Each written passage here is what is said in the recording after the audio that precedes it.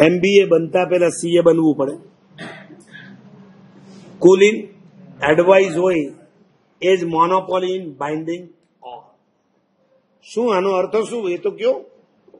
Monopoly in binding all નો અર્થ શું? એમબીએ નો અર્થ શું? યસ બધાને સાથે લઈને હું દરેકમાં આગળ. હું એકલો જ કરી રહું. કોઈને કહું નહીં. તમે કોઈ ગ્રુપના મેમ્બર હો અને તમારી જાતે તમે બધું કરો. ગ્રુપના બીજા કોઈ મેમ્બરને સાથે ન રાખો. આ ગ્રુપ લાંબુ ચાલે ખરું? અરે ઘર ચલાવવું હોય ને, તો પણ બધાને સાથે રાખવા પડે.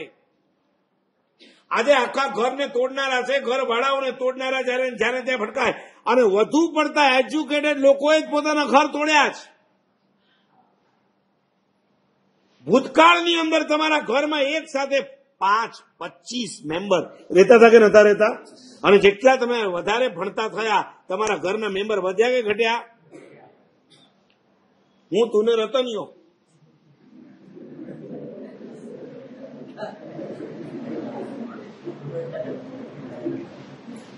પૂછીએ કેમ આમ? બસ મારા સાહેબ શું છે? બહુ બધા ભેગા થાય ને પછી નકામે ઝઘડા બહુ થાય છે. અમારા સંબંધોમાં બ્રેક આવે છે.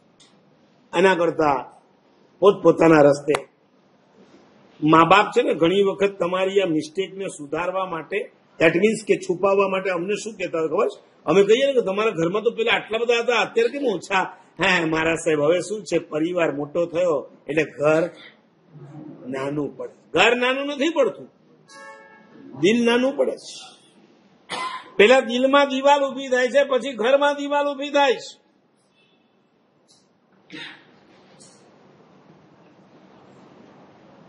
અમે નવ મેમ્બર હતા અમારા ઘરમાં.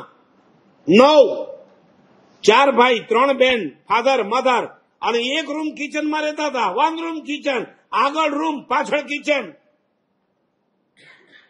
ત્યાં ક્યાં અમે સુતા હતા તમે? યુ કાન્ટ બિલીવ જે ફર્નિચર હોય ને, ગાદલા રાખવાનું, એક છોકરો ત્યાં જઈને નીચે સુવે. આ પાટ હોય ને, એની નીચે કોઈ સુઈ જાય તો કેવું લાગે? બસ એવી રીતના સુઈ જાય આખી રાત. જગ્યા જ નહીં. પણ મસ્તીથી રહેતા હતા. બોન્ડિંગ તમને એક બેડરૂમ ઓછા પડે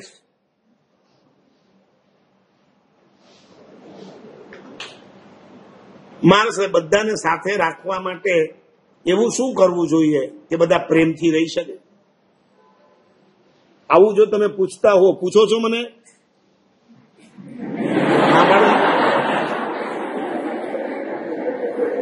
તમારે ક્યાં જરૂર છે? તમે હોય છે, પડો.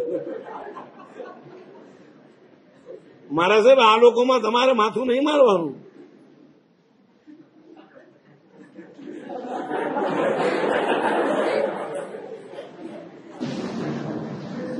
બોલો, પૂછવું છે તમારે મને કે મારે સાહેબ અમારે પાંચ, દસ મેમ્બરને સાથે લઈને ચાલવું હોય, સાથે રહેવું હોય, તો અમારે શું કરવું જોઈએ?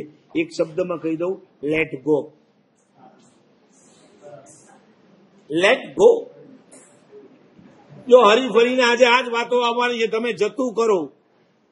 ચાલવાથી શરીર સુધરે, થોડું ચલાવી લેવાથી સંબંધો સુધરે છે.